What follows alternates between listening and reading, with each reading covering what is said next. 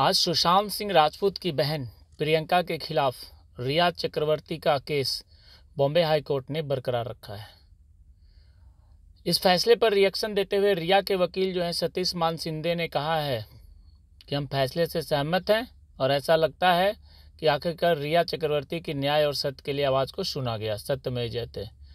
ऐसे ऐसे अजीब अजीब रिएक्शंस आते हैं, कौन सत्य है, कौन झूठ है और रिया चक्रवर्ती ने क्या किया है? ये पूरी दुनिया जानती है, पूरी दुनिया ने देखा है। फिर भी, आज बॉम्बे हाई कोर्ट ने उनकी बहन प्रियंका सिंह के खिलाफ जो भी था ये मामला, उसको बरकरार रखा है। हाई कोर्ट ने उनकी दूसरी बहन मीतू सिंह के खिलाफ दर्ज एफआईआर खारिज किया, लेकिन दूसरी बहन प्रियंका सिंह के खिलाफ आरोप को बरकरार रखा है। सुशांत की बहन के वकील ने कहा, जो उनकी बहन के जो वकील हैं वो इसे कहे हैं कि सुप्रीम कोर्ट में हम इसे चुनौती देंगे और सुप्रीम कोर्ट में हम इसे लेकर के जाएँगे।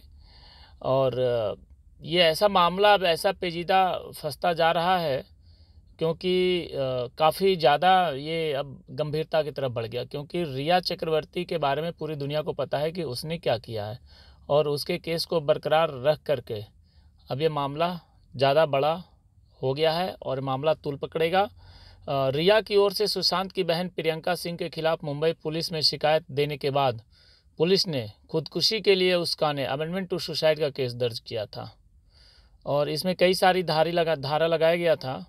और रिया ने बांद्रा पुलिस स्टेशन में प्रियंका सहित आरएमएल अस्पताल जो दिल्ली है, उसका एक डॉक्टर के खिलाफ केस दर्ज कराया था। और रिया ने इस पर सुशांत राजपूत के लिए दवाइयों के लिए फर्जी प्रिस्क्रिप्शन लिखवाने का आरोप लगाया था।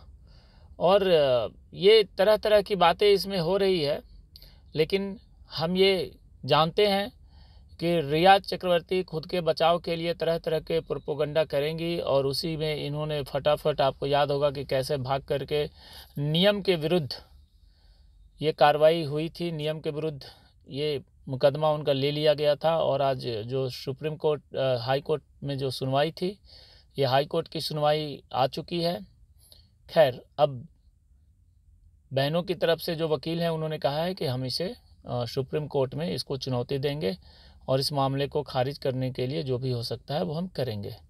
अब हमें आगे देखना है, क्योंकि एक ऐसा मामला ये फंसता हुआ नज़र आ रहा है, जिसमें अब काफ़ी बड़ी पेचीदगियाँ हैं और इसको हमें आगे बहुत ही गंभीरता से लेना होगा और हम हम सबकी इस पर निगाह बनी रहेगी।